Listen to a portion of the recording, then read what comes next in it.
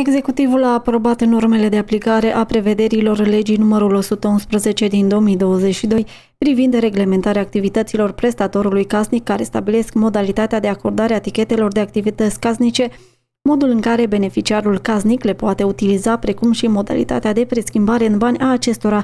Potrivit actului normativ adoptat de guvern, acest tip de etichete vor putea fi achiziționate atât pe suport electronic, prin crearea unui cont online în vederea înregistrării în platforma electronică de evidență a desfășurării activităților casnice, cât și pe suport de hârtie. Tichetul de activități casnice va conține rubrici speciale destinate informațiilor referitoare la identificarea beneficiarului și a prestatorului casnic, date referitoare la valabilitatea tichetului, precum și elemente de siguranță obligatorii.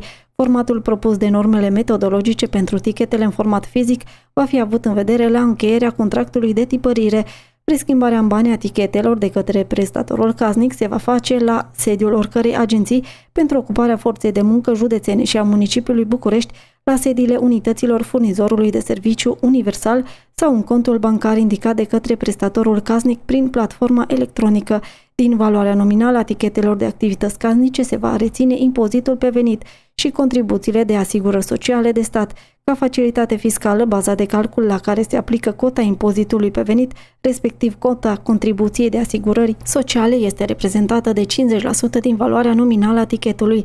La preschimbarea unui număr de minim 85 de tichete de activități casnice, valoarea minimă a contribuției lunare, neputând fi mai mică de 25%, din valoarea salariului minim brut pe țară garantat în plată. Prestatorul casnic beneficiază de asigurarea în cadrul sistemului de asigurări sociale de stat și al sistemului de asigurări sociale de sănătate.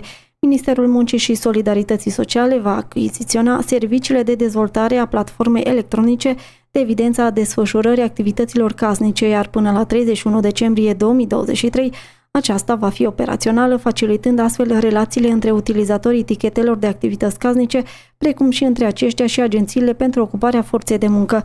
Persoanele fizice care își doresc să utilizeze etichete de activități casnice în activitatea lor vor putea beneficia de prevederile legii numărul 111 din 2022 privind reglementarea activităților prestatorului casnic începând cu data de 1 ianuarie 2024.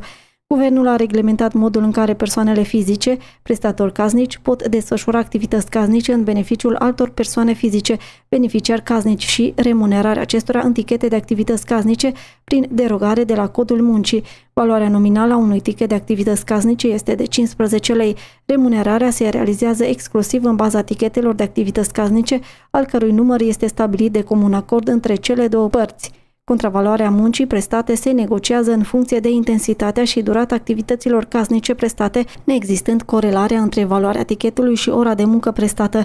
Măsura introdusă prin intermediul legii dorește să formalizeze relațiile ocazionale de muncă deja existente, însă într-un mod simplificat, astfel încât înregistrarea beneficiarilor casnici, a prestatorilor casnici și a plăților dintre aceștia prin intermediul tichetelor să fie cât mai facilă, flexibilă și nebirocratică. Angajatorii publici și privați pot acorda sub formă de bonus sau primă tichete de activități casnice angajaților proprii.